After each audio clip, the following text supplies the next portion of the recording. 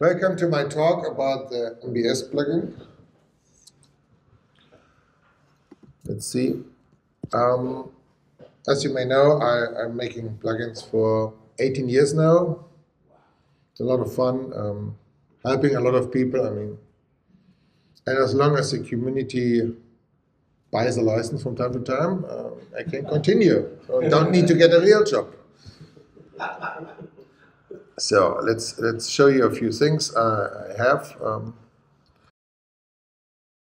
well, it's like you, you have a hobby, you have a hobby, and you just get money for it. Someone asked me uh, yesterday about uh, to get memory statistics on macOS uh, to know how much memory is free or in use. So I made a function to query a um, function for, for them and uh, it queries the host statistics so you get a lot of numbers. I may need to tell you a little bit about the numbers. So first, all the numbers are in pages. A page is 16K of memory.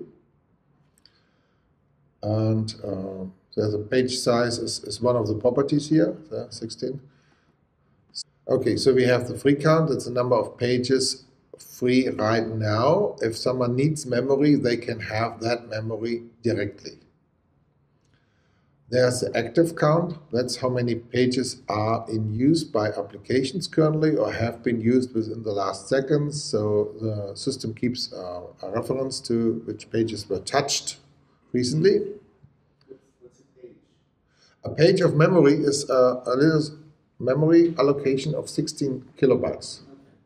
So this is all in 16 kilobyte units. It used to be 4 kilobytes on Intel machines, but for ARM they switched to 16, so they uh, need a little bit less overhead for managing them. So inactive pages, pages that haven't been used recently, those can be moved to swap if needed to make free memory available. Then you have a wire count, that is the pages which are wired down, which means they can't be swapped out. This may, be uh, memory for, for managing the pages. This may be memory for the kernel itself, memory for a virtual machine, because that can't be wired out too. Then we have zero fill count. That are pages someone allocated, um, but they didn't get physical memory right away. They just get a page that is all zeros. So, and Technically, all zero pages are just one page in memory. They just point all to the same page. And when you modify the page, it gets a copy on write fault. So when someone tries to write it, they get a copy of that page. And then they really get physical, physical memory. So page in, page out, that's what your swap is about. Should be zero. Otherwise, uh, if it's not zero, please buy more memory. You really want to avoid that.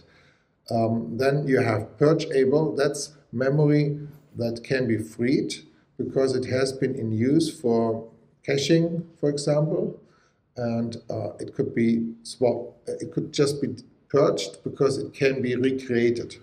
Like it uh, could be memory um, from um, loaded from a, a executable. Like the, if you have an application the blocks from the application are mapped into memory, so they are loaded, but they could be discarded at any time and then reloaded if needed. And then you also have compressed thing, uh, compressed memory, because before macOS uh, swaps out to disk, it, uh, it compresses memory. And this new function uh, for the upcoming version will give you all the numbers so you know how much memory is free, how much how the memory pressure is. And this could help you uh, creating statistics like um, I saw an uh, example database uh, checking every every minute or so on the server to know the memory statistics. Um, this function is available without any permission check. Uh, it's just querying statistics from the kernel. We usually have the problem on Linux uh, that such information is not available without root. So you often have to go back to running a shell to run a command line utility that can read data from the kernel space. So, but this is coming and, and new. Then there's another thing I, I wanted to show you. Um, I had a question about MQTT. So that's about um, yeah, a messaging queue protocol where um, you have a server and the server gets messaging messages pushed from different sources and then you can subscribe to a topic and uh, yeah receive the messages could be anything I mean, it's just about getting messages together and pushing them out to everyone interested. And here's a, a test server I found and we can connect to it. And uh, then we are listening and we can send something and I could also um, send something with a, with a terminal. Let's say I, um, yeah, so, so just take the URL, tell curl to send something, um, let's say hello, um, and you see it arrives here. So for that, um, I had to make a few changes to the plugin. So first to send something that's just using the URL and uh, post file fields to, to send the payload. That's just a normal curl user with the plugin. The, the other one here with Connect is a bit different because um, this is a uh, long-running query. So we start a curl query that runs for minutes, maybe for an hour, whatever, until the server kicks us out. And we keep a connection. So we put in the URL. We, we can define a script. Oh, let's see, duplicate. Uh, we can define a script um, that runs when the connection is finished, or when the transfer is finished, and a script to run when we get some data with MQTT. And then we run perform async which runs it in the background. And the script ends.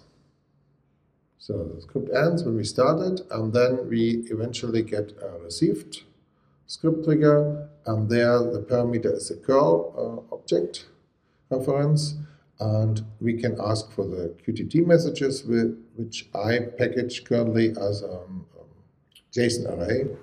So you can just go through the JSON array and ask for what's in the JSON and get the values and put them in records. And eventually finished may be called if the server kicks us out and so we can clean up. And maybe reconnect again. We'll see if it works um, or if more, more functionality is needed.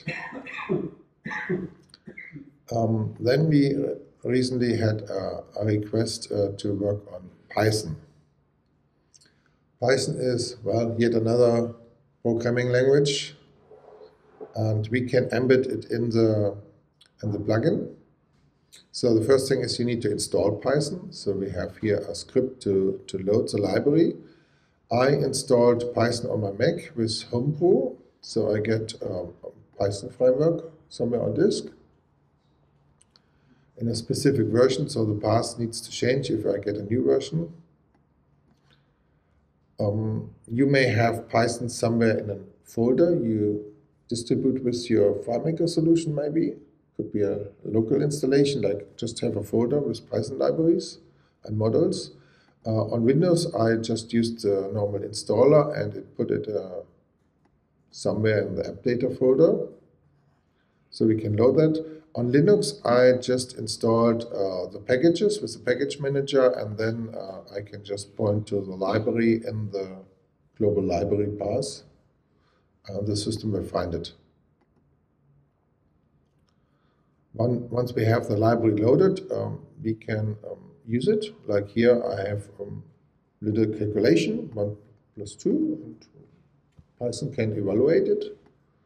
Let's, let's see the script just uh, if Python is loaded, um, we can ask for the version. Yeah, we can make a new Python environment, uh, which basically allows you to have different environments with different local variables.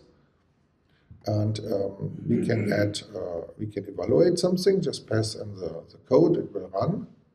We also uh, can add our own custom functions. So I have an evaluate function to call back to FileMaker to evaluate something or a SQL function to call back as well. And we collect all the print commands. So if you print something in Python to the console, we will just collect that uh, and you can ask for the text. So let's go here through the examples. Um, here we have a script. So we have two ways. You can evaluate or you can run a script. Both are possible and uh, script have as intention.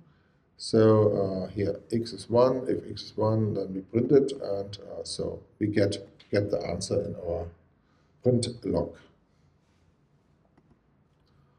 Then here we can evaluate something and call back to FileMaker to get things like a account name. Um, the idea here was that you can decide whether you want to have such a function or not. So it's up to you. And uh, you can decide what's the name of the function. So um, whatever you like. And um, the execute SQL function will give back uh, here lists of lists. So this is uh, not serialized as a big text block. So it's structured and uh, Python can do something with it. Like here's it's, it looks like JSON, uh, but it's not. It's not JSON. It's it's just lists of values. And uh, if you're, let's, uh, let's just add a number field. Is eval is there? Uh, here. Is eval? No. So that's a number field, and um, so we get here a number. So it's either number or, or text currently. So um, here we define a function and, and run it. So, so you can have functions defined in, in Python code. You can import models. Um, if you if Python knows where it is, where the models are, you can just import them. Um, let's run the script here. Calculates the power of uh, you can also um, make syntax errors. The plugin uh, doesn't just crash. Uh, we catch the error, we report it back here, so it prints out uh, the same messages uh, Python would print in the command line. And here another little script importing a math function. Um, here some random module use. Um, a switch command. Just got a few examples here, and let's see what we else have. Ah, a loop. So uh, be aware that um, if you run a script currently, it, it runs a road script. So please don't put in an endless loop. Uh, we'll see if we make more functions, like uh, I already got a request to run a script on disk, so without loading it um, directly. And maybe we could have something like um, on the next five lines or so, so we could um, maybe make it more interactive. So, and here's another um, another use of the execute SQL function with parameters, like we have here question mark in the SQL, and then we use uh, fm evaluate to get the primary key of the current record.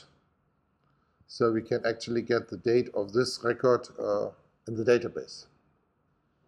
So parameters are possible with a, with a SQL function. And uh, we can use the input function. So normally the input function would ask you to type something on the keyboard, but because uh, running the script um, doesn't have input, so we have a way for you to provide a list of input values to the plugin. And uh, then the input function will just pull up a value from this list and give it back to you. So I can even run it twice here. And so it will pull the first, then the second value. And if your script needs some input, you could provide that with the plugin. Do you have any questions about Python? Uh, yeah, it's here on the bottom. Uh, it asks for the uh, version string Yeah, please try. Let me know what's missing. Maybe some more functions. Uh,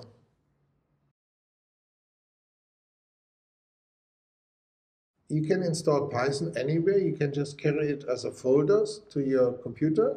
You tell the plugin to load the DLL from the folder, and you have all your models in the folder. So that is a virtual environment to some kind. Um, we may need to maybe add a function or two to um, maybe set some environment variables, uh, like uh, where is the path to the modules. If, um, but normally the DLL will just look where it is and find its configuration file. yeah, well, I would just run the ping command in the shell. So, uh, it doesn't yeah, um, for the hops, we would need a traceroute command, I think. No? Trace root.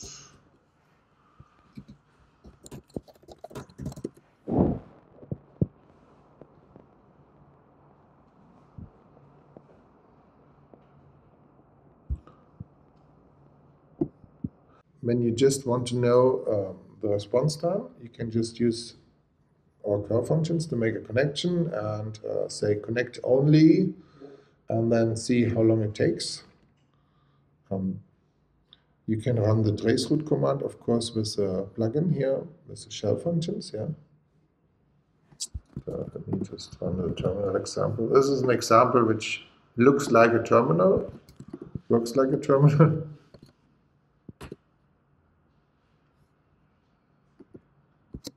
So basically it should run the same thing here.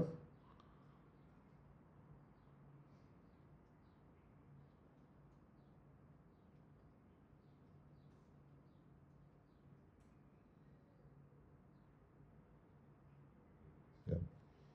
Takes a while. We are in Berlin, my server is in Cologne. Um,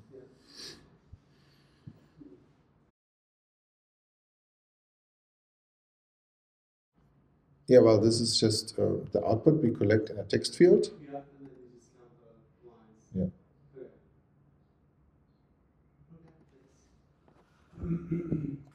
So you can run whatever command line utility you like with the plugin. You can run it interactively. You can even provide um, more input at any time. So, so when you when you get the plugin, um, you get uh, 600 uh, example files, 652 coming with the plugin, so you have a lot of things to check. Um, and let's just go through a few of the recently added examples, unless you have other questions. For example, I had a customer at the Spanish conference asking me if we could have nice progress bars in a portal. It seems to be difficult uh, as you may need pictures and you maybe have some globals with pictures pre-made, but I thought about we could make the pictures with a plugin. And uh, so you could have something like a field where you put in the number, and whenever you change the number, the graphic changes itself. You could have a field to put in the color, either as a text or maybe hex encoded. Could that work server side? Yeah, Network server side. We have two ways. We have a script here and a calculation. So the script, uh, uh, this one here. So it's basically using our GraphicsMagick functions to create a picture, draw the line, and then put it in a container field. So the picture is created on the fly by a script trigger based on the field here. So whenever it changes, we can update the graphics and um, because we like. Uh, we, we also have a field portals. Yeah. There is a calculation which is basically the script translated one by one to, to a calculation to do the same thing. So um, in this case, we make a new picture. It's currently a 300 by 30, which should be enough that if you show it in a in a container field, which is maybe 150 pixel wide, that it uh, gets shrink down and you have the double the resolution. Uh, we start with our white graphics here. Uh, the auto color allows you to have the color based on the value. So it's between red and blue, a gradient. Um, then we, we set the color, we ask for the color, we actually split the color here into RGB values because we then make the background color, um, no, the background bar color uh, a darker color based on the color for the foreground. And then we just draw two lines. We draw the background line, we draw the foreground line, and then we save it as a PNG. You mean the, the background fill? What do you mean? Yeah, well, here, the darker portion and the lighter portion.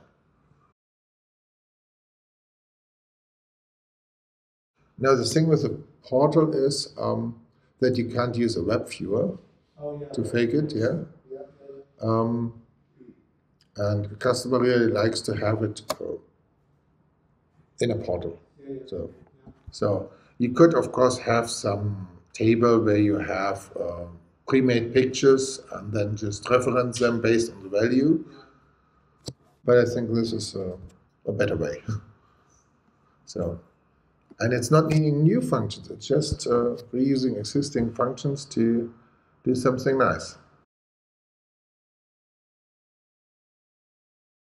So um, you have uh, some site loaded in a web viewer, and you can ask the plugin to just give me a picture of that. The plugin would draw it, uh, the content in a picture, or to make a PDF. And this is uh, this is a full PDF, one page for the whole website.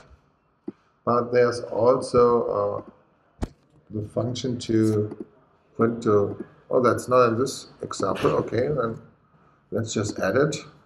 So uh, instead of render PDF, we say print print a file, and uh, our web viewer is uh, named web. On the path, let's say it uses uh, CS desktop test PDF. Okay, so run it.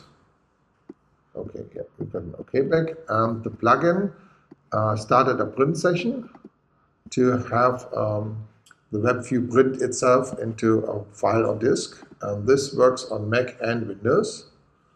And we have a couple of configuration things, like you can define how much margins you want, things like that. Uh, if you want duplex or you want. Uh, so let's let's go to the documentation for that. Uh, I have a lot of customer who um, use the web viewer to maybe load an invoice as a HTML document and then make the PDF. Quality?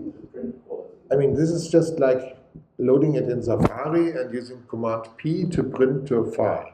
So you get all the pictures in the full resolution and uh, the text is vectored. You can use all the CSS you like uh, to, to format it.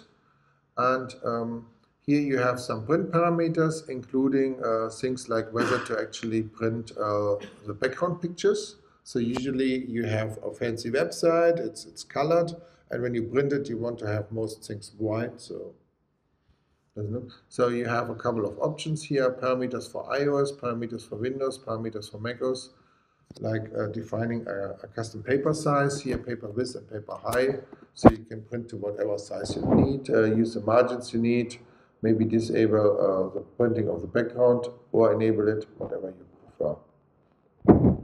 So, and I have different uses for that. Uh, originally, there was an, uh, a lawyer who wanted to preserve the state of the website as he saw it. So he wanted to have basically a printout in his database. How the website looked at that day. And then he went there every week to, to show how it changed. So, um, yeah, welcome. Uh, let me let me see another example. For example, um, how about uh, some Dyna PDF? Uh, and have you seen the thing about book creation? So, This is basically um, the MBS plugin um, making uh, a book from text in, in records. Also a very nice example. So it automatically makes a table of contents? Yeah, here. And you can click on it and it jumps to the right position. And this is multi-page output with a plugin. Uh, let's, let's just go in the script and, and show you. So with DynaPDF, we have all the possibilities we want, but you have to write script lines. You can't just use a layout in FileMaker. So in this case, we create a table. Oh, this is a table object. Oh, where's my PDF? Uh, yeah, this is a table in DynaPDF. Uh, let me just enable here the, the, things with the border. So DynaPDF has a possibility to uh, to make oops, to have tables used for formatting. There's a drawing error. So, um, so we, we uh, build the table on the start. Uh, we loop through all the things to make, yeah, this makes a table page, uh, the, the, title page first. And, then we, we loop over the records. If each record may have a PDF, it may have some text. So we actually make text for it.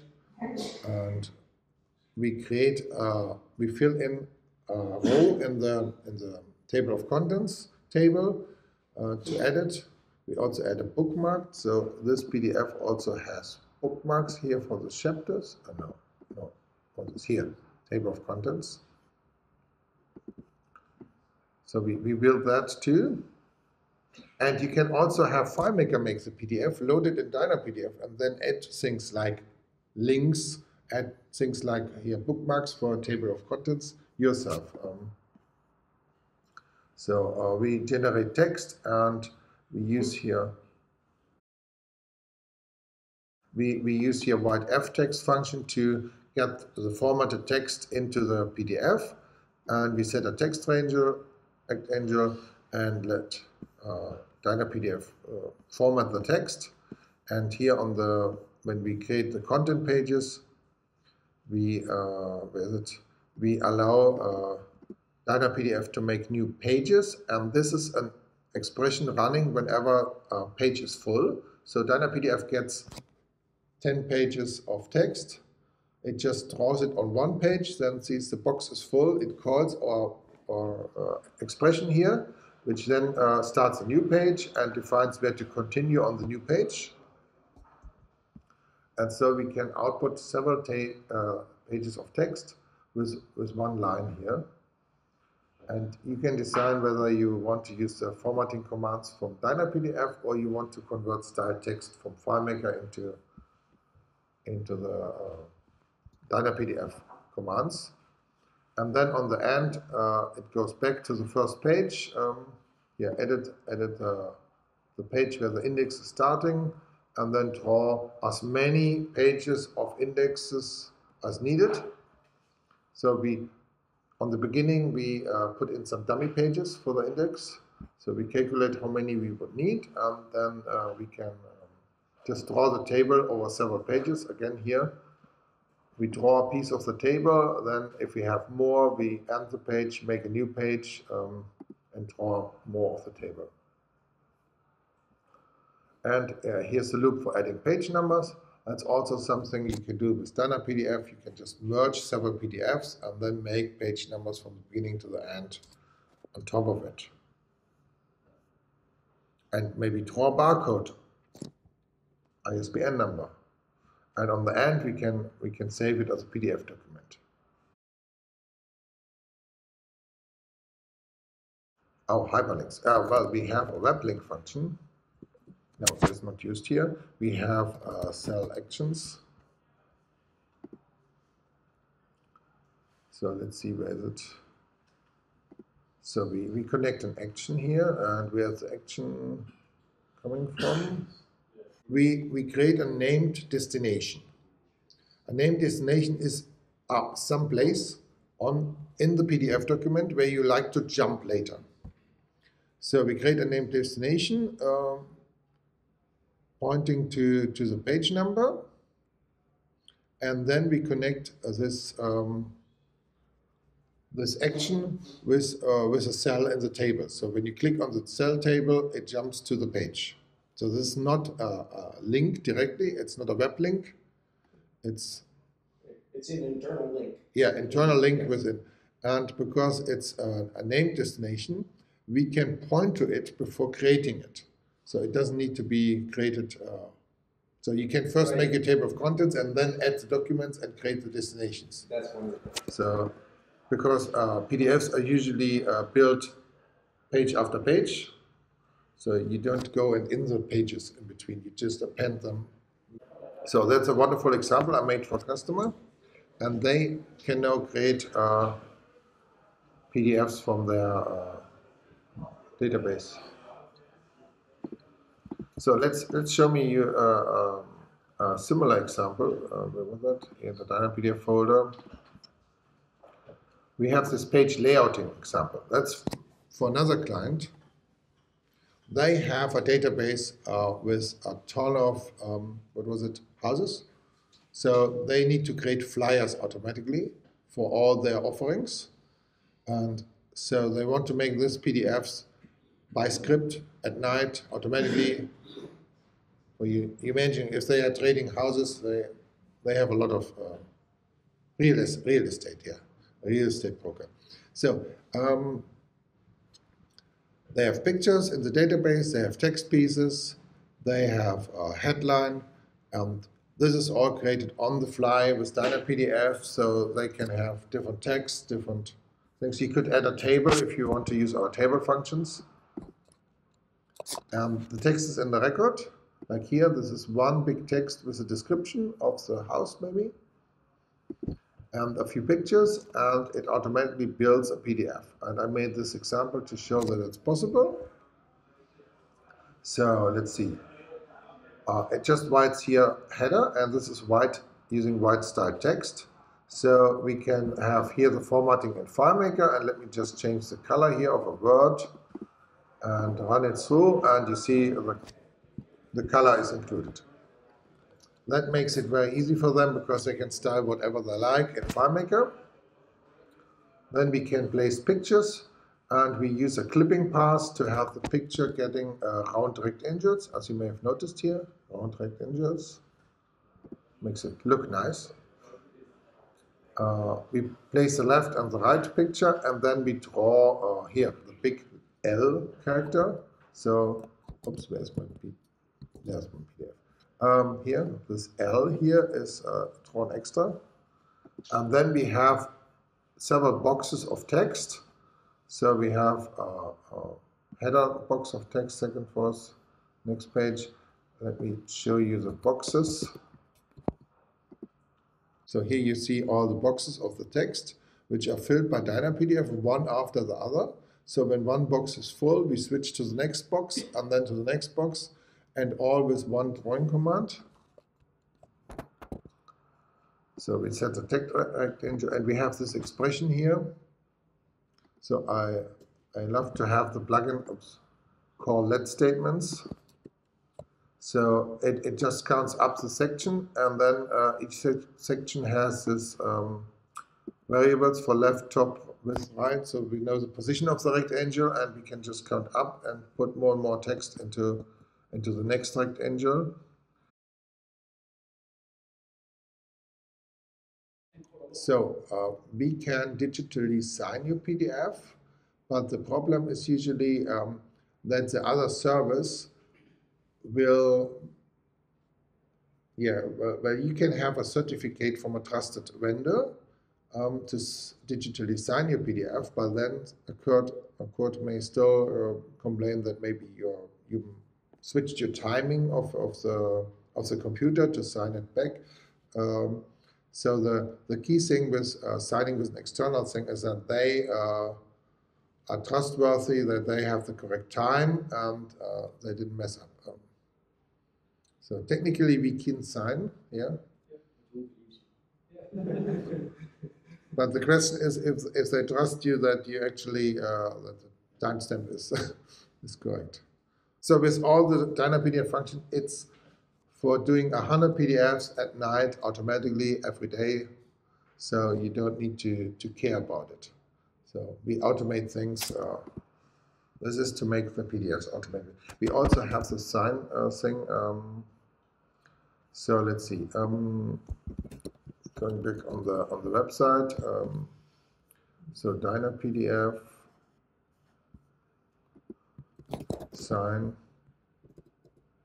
So you can have a signature field, so people can then sign in Adobe Reader. And here we have all these different save and sign functions. You bring a PKCS12 certificate file um, to, to sign it. Um, also, we have uh, the version on Windows uh, using Windows uh, crypt functions, which allows you to have your certificate in the Windows um, store. They have a like like the keychain on Mac. They have a database for all your certificates, and this also allows you to use an, a certificate on USB stick uh, with its own time, so it's more trustful. But you can technically sign a PDF with that, and then people can open the PDF in Adobe Reader and see, yes, it's uh, signed and it hasn't been modified.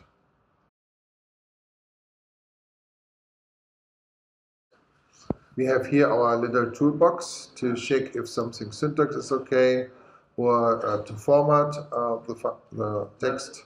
If I select the. And you can run it. If, if, if, I select a chunk of, of text, uh, Yeah, I can select one. Uh, I can, I think, press Shift key, Shift one, and get the one. Okay. So it, new, you- I think. This is new in the last beta, I think.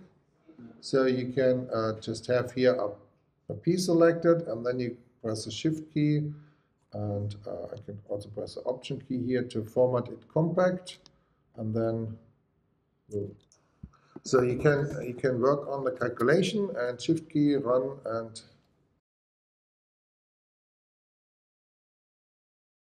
Well, the RTF functions don't handle pictures as far as I know. Because um, having a picture in RTF is um, an extension by the vendors. So Microsoft has a way to do it, Apple has a way to do it, Linux has a way to do it. Uh, it's not as, it seems to be not in the standard. Um, Okay. for Word, for Word, we have indeed some, some functions. Um, uh, plugins. Again, uh, Word. You know, we have some functions, and uh, people can uh, can load a template, and then they can replace a picture here by replacing the media file. So I know I have a few customers who like to make Word documents automatically, and um, they may use several templates. So they have a template for uh, for one picture, for no picture, for two pictures, and they just replace it. Um, the problem we have often is that uh, someone asks for Word file because they want to edit it after. So the database exports uh, whatever, the invoice, the offer, whatever, as a Word file, and then they want to write additional text on it. And then we say, uh, please put this text in the database because otherwise nobody knows what you wrote there. Like if you gave the customer a discount and you wrote it only on the Word file, the database doesn't know about it. Yeah. So I would say talk to them, get it data in the database, and then uh, make a PDF. So what what else do we have on nice examples? Um, yeah, if you if you want to work with Excel documents, so um, the plugin can read and write Excel documents with libxl, and we can uh, make conditional formatting. So let's see here, example one. We create a new XML uh, book. We add a sheet. We write some text and cells. And new in the last version of the plugin is you can add a conditional formatting. So the formatting is not predefined by setting formatting in the script, but we, we set the conditions here and say the condition is um, here add rule. So there is a rule with different modes, and one is beginning with and beginning with an A, and then we apply uh, here the bold font, And this gives us uh, this example here. So the nice thing is, instead of just having it all predefined in a template, you can define a, um, conditional formatting on the fly in your script. And I have a lot of customers that um, do their Excel exports not with a FileMaker built-in Excel export, but with a plugin by, for example, loading a template file, uh, getting the numbers in FileMaker, writing the numbers in the cells, and then saving the document.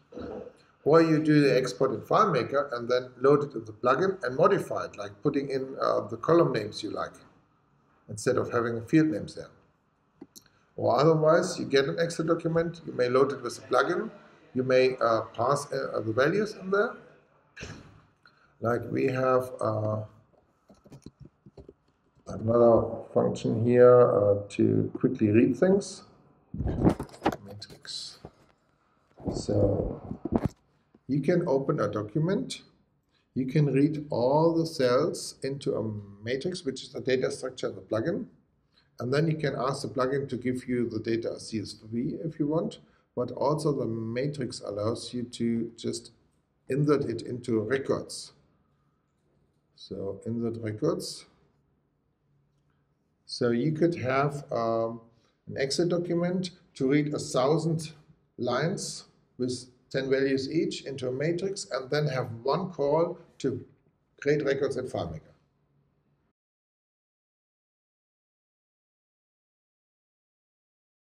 Well, it's something you specify, and the default is here a new line and semicolon, but if you like tabs, you can pass in tabs.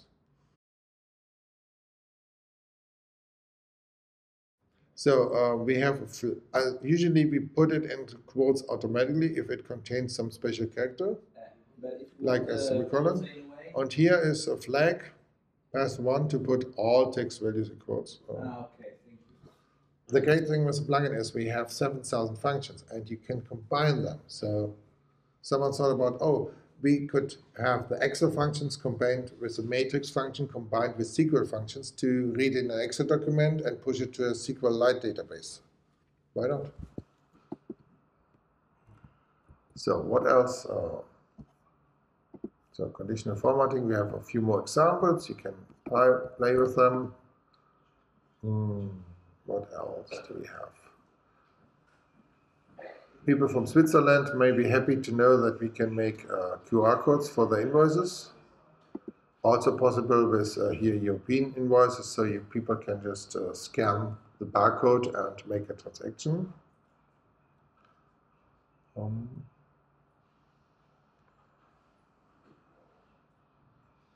oh, data detectors, also a nice function. Um, you may have noticed that on, on a Mac, if you have an email message containing some values. You can just uh, move the mouse over the link and you can click the link or the address, you can click the address. And um, this is using data detectors, a feature in the Apple frameworks, and we can use that in, in FileMaker. And you can get the values as a JSON, or you can make an action menu. So based on the data in the text, we offer here actions, like copy the phone number or call it, or you know, open the link, uh, open the address in, in, Google Maps or Apple Maps. And this is something you can just copy to your solution. Um, you know, here, uh, um, this is just a, a, script to build a menu based on what the data detector found. So this is just, uh, uh and it uses our menu commands to to show the custom menu. And this is a button you can, uh, with script, you can just copy to your solution next to a field and then uh, have those actions you- on a, on a can Mac. show? Yeah. Thank you. I thought we, we had a live stream some time ago where we just showed people around some things. Um, Oh, if you are using Windows and uh, you are so sorry to not have a search box, uh, I mean, get a Mac here. Um, but but we made something for we made something for the Windows people here. So uh, if you open this file, it registers a hotkey F8, to perform a search. And it does that by copying the current script. So let's see. Um, hotkey was, uh, was hotkey? Uh, F8. Um, so it, it copies all the lines to get an XML and then it makes records in, in this database. And now you can search here. Uh, what could I search? Uh, records. Um, and it finds me the line numbers uh, of the records. And then I can go back to the script workspace and, and find the line number here. And It's, it's in the XML uh, on the right. Or does it, yeah, it shows you the XML behind. that is very So- useful also for Mac people. I think. Yeah, you can use it on a Mac, I see. This is a database to help people on Windows to search in their scripts Okay. because they don't have a search box. Oh,